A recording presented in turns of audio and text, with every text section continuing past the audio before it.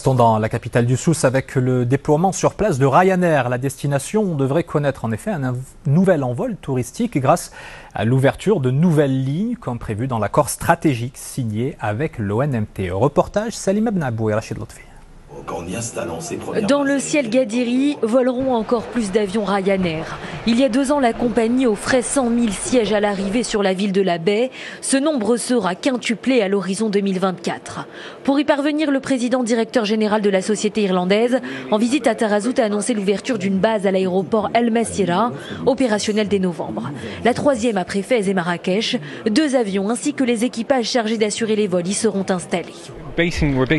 En basant deux de nos appareils à Agadir, cela signifie que les avions restent toute la nuit à l'aéroport avant de décoller très tôt le matin et revenir le soir. La logistique est facilitée et cela ouvre la voie à de nouvelles routes. Agadir pourrait potentiellement être connecté à 240 destinations.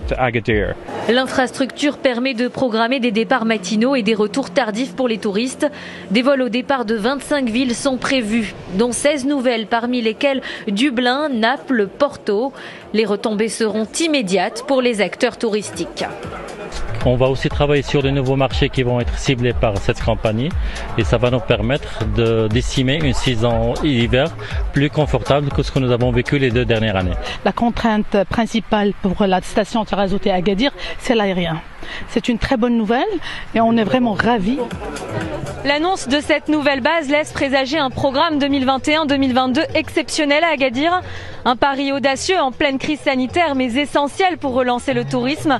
Il ouvre la voie à une croissance du trafic et à de très très belles retombées économiques, que ce soit pour la compagnie que pour la région Sousse-Massa.